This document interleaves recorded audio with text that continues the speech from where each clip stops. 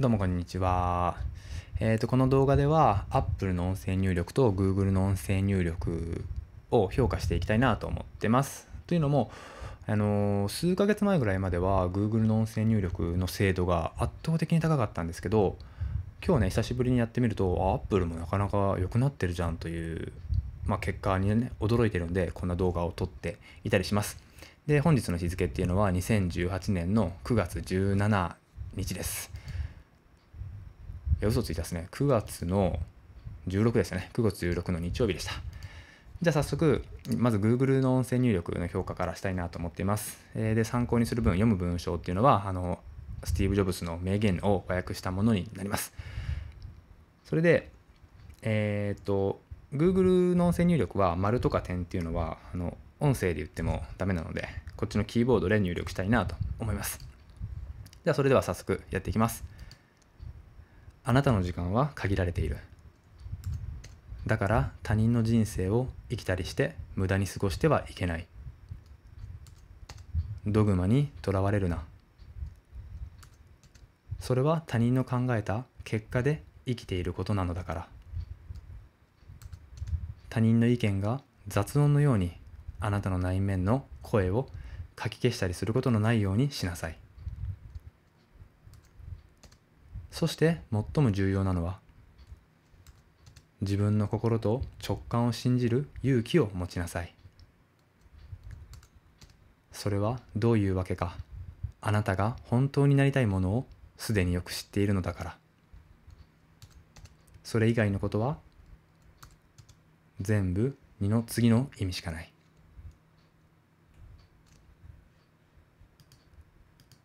全部2の次の意味しかない。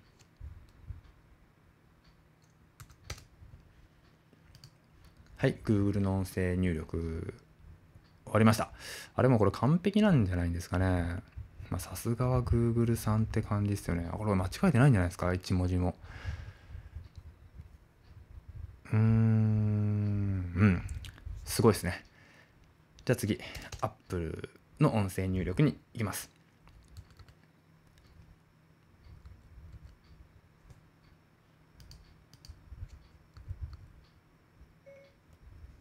あなたの時間は限られている。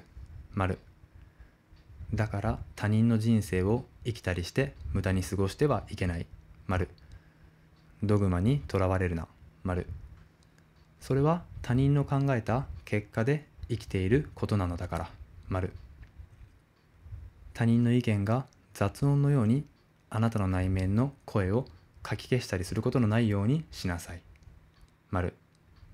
そして最も重要なのは点。自分の心と直感を信じる勇気を持ちなさい。丸それはどういうわけか。あなたが。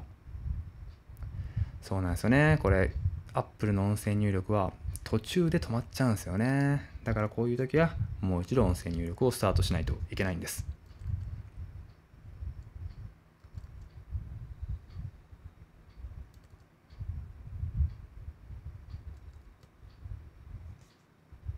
あれ？スタートしない。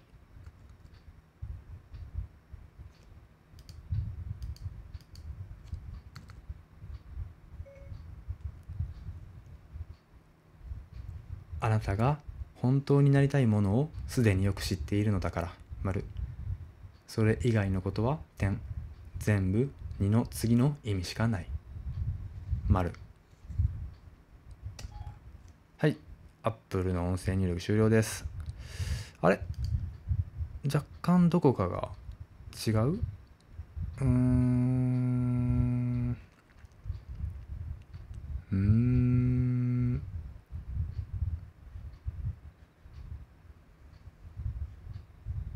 あ、ここね。すでにが漢字に変換されちゃってるね。ここ、ここ、ここ、ここ、ここ、ここ。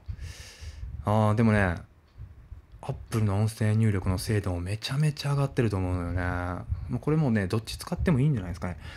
あの正直なところ、途中で止まっ、アップルの音声入力は途中で止まっちゃうんですけど、点とか丸を言ったらこうね、キーボードで打たなくても、こうやってくれるんで、もうめちゃめちゃいいっすね。いや、めちゃめちゃいいっすわ。これから、僕今まで Google の音声入力の方を使ってたんですけどこれからは Apple の音声入力にしていこうかなと思っていたりします。いや便利なんですよね。例えばその Apple の音声入力の場合は丸点カッコカッコ閉じる鍵カッコ鍵カッコ閉じる。まあ、みたいな感じにその丸とか点ちょっと今これ0点になっちゃいましたけど丸とか点とか、えー、カッコとか鍵カッコもできるんですよね。これが非常に便利なんですかね。ということで、えー、Apple の音声入力、えー、おすすめになります。途中で止まるのはちょっと腹立つんですけどね。うん。で Mac ユーザーの方はあのファンクションキーを2回押したら始まるんですよ。こんな感じに。さっきなんか接続が悪くてなかなか始まらなかったんですけどいつもだったらこう普通にピブって始まるんですよね。まあ、今、たまたまそのクイックタイムプレイヤーというやつで、あの、録画しながらやってるから反応が悪かったのかもしれないです。いつもだったらね、すぐペプって反応するのに、なんか今日反応しないなと思って、ちょっとびっくりしちゃいました。うん、えー、アップロシです。はい、じゃあ以上になります。ありがとうございました。